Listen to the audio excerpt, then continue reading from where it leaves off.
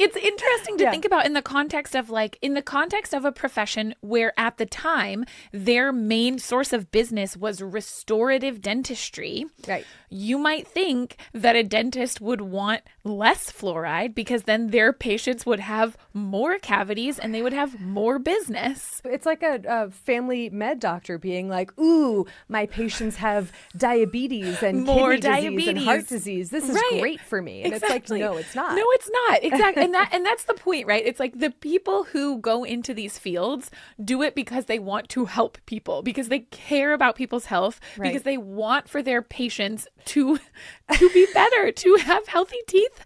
Like so but, I but so big I love fluoride, Erin. Big fluoride. Raking in that dough. Yeah, I Yeah. honestly, it's. I mean, it's it's baffling but not surprising.